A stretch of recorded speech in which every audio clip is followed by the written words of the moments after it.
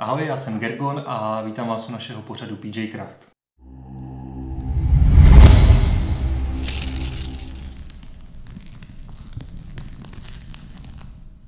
Tohle první video je takový úvodní a tady vám řeknu, co můžete od našeho pořadu čekat, co si z něj můžete vzít a o co vlastně půjde.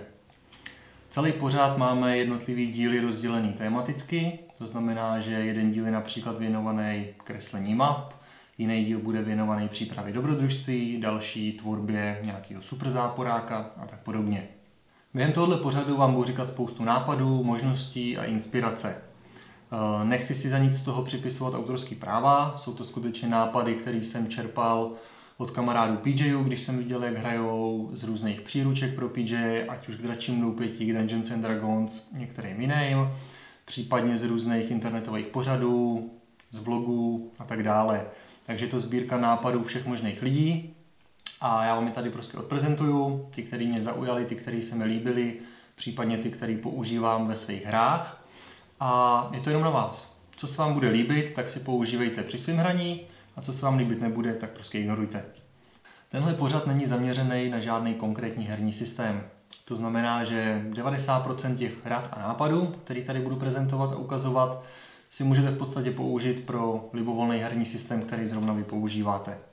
Pokud se tady budeme potřebovat opírat o nějaký pravidla, ať už kvůli názornému příkladu nebo některým ukázkám, tak se budeme snažit dostat ke hře Jeskyni a draci, což je v podstatě česká varianta Dungeons and Dragons a měla by být někdy na konci tohohle roku. Do té doby, než vyjde, tak se opíráme o klasický americký Dungeons and Dragons, a to o pátou edici, kterou jsme pořídili a která je naprosto fantastická. Já jakožto hráč dračího doupěte, který jsem hrál nějakých 15 let, jsem v podstatě po jedné zkušební hře páté edice okamžitě přesedlal, protože to je paráda. A tyhle ty sponzorské dary, které tady máme právě k páté edici Dungeons and Dragons, nám poskytnou Fantasy obchod, který mu za prvý moc děkujem a za druhý si myslím, že většinu věcí, o kterých tady budeme mluvit, figurky, kostky, rekvizity a všechno možné, na tomhle e-shopu najdete a pod každým pořadem byste ty věci, o kterých budeme mluvit, tak přímo odkazy na ně měli najít v popisku dole pod videem. Abyste se v tomhle prvním díle taky něco dozvěděli, tak jsem se rozhodl, že vám povím něco o historii dračího doupěte nebo spíš her na hrdiny všeobecně. Hry na hrdiny se v podstatě vyvinuly eh, z takových těch rekonstrukcí bitev, kdy dřív měli celý velký bojiště a tam hromady malých figurek a celý armády spolu bojovali. Tak tyhle hry hráli lidi, kteří stáli u vzniku her na hrdiny. Gary Gygax a jeho dva kolegové, kamarádi, spolupracovníci, nevím, Dave Arneson, aspoň myslím, že se takhle vyslovuje, a Don Kay. Tyhle lidi v podstatě někde v roce 1971 zapojili v první řadě magii a kouzla a mystické příšery do těchto rekonstrukcí a bitev. A o rok později potom přišli s nápadem, že místo, aby ovládali celý armády, tak se budou zaměřovat na jednu postavičku figurku, který dají nějaké schopnosti, která se bude postupně vylepšovat. A to byl v podstatě základ her na hrdiny.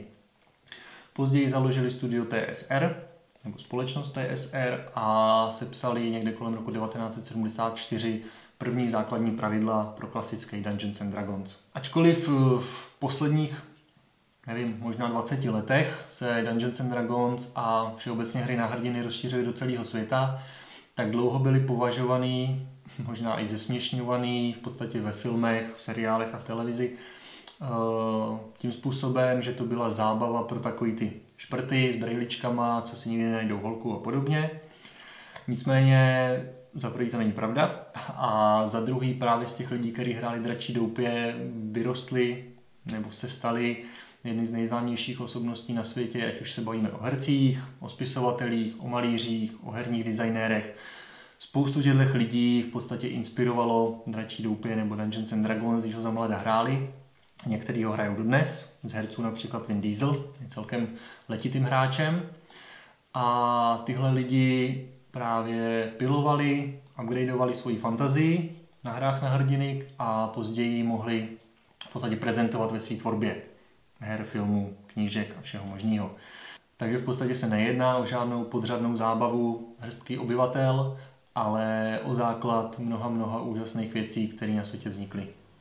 V posledních letech se tenhle systém her na hrdiny dostává i do biznisu, a to formou tzv. gamifikace, což je systém, který využívá spousta nadnárodních společností a firm a funguje to jednoduchým způsobem, aby pozbudili, motivovali zaměstnance, aby tam nějakým způsobem mohli uh, rozdělit funkce nebo odlišit lidi na jednotlivých úrovních, tak v podstatě používají systém bodů, zkušeností, různých levelů, úrovní, kam posouvají svoje zaměstnance nebo klienty. A tenhle ten systém, v podstatě taky založený na hrách na hrdiny, se momentálně právě promítá i do celosvětového obchodu. Další věcí, kde se velmi úspěšně používají hry na hrdiny, je poměrně závažná věc a to je psychologická pomoc. Skutečně i takováhle jednoduchá hra v podstatě je založená na tom, aby pobavila skupinu lidí, kteří se sejdou, se v posledních letech využívá, možná ne jen v posledních letech, eh, využívá psychologii. A to tím způsobem, že spousta lidí, kteří mají nějaké psychické problémy, problémy dětí ve škole se šikanou, eh, s týráním doma, se vším možným, takže psychologové používají hry na hrdiny jako takovou pomůcku, berličku, jak se k těmhle lidem dostat. Ty lidi se v podstatě vcítějí do někoho jiného, do nějaké postavy, do svého avatara, do charakteru, který si vybudujou a protože jednají skrz něj, tak se učí, jak si posílit sebevědomí, jak rozvíjet svoji fantazii, ale zároveň jak se vypořádávat eh, s krizovými situacemi, jak jednat ve stresu, pod tlakem. Ovšem mají v tom tu výhodu, že v téhle hře jim nehrozejí žádný následky.